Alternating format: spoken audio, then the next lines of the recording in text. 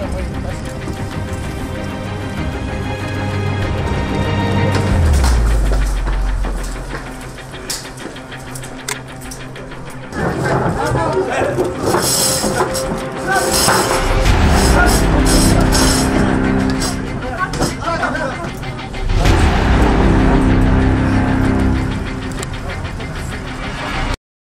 Кыргыз республикасынын улуттук коопсуздук мамлекеттик комитети чач кайманаты менен белгилүү болгон мырзахметовдун уюшкан кылмыштуу тобунун кыргыз республикасынын ички иштер министрлигинин кызматкерине жана жарандарга карата куралдуу кол салууга аракет кылган фактысы боюнча сотко чейинки өндүрүш ишин жүргүзүп жатат.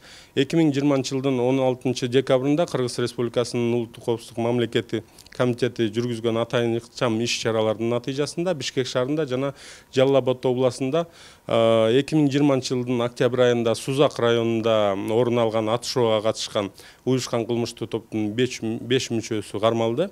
Кармалган үч адамга карата жалал абад областтык соту тарабынан улуттук коопсуздук мамлекеттик комитетинин ош шаардык башкармалыгынын тергөө камак жайына эки ай мөөнөткө камакка алуу түрүндө баш коргоо чарасы каралды.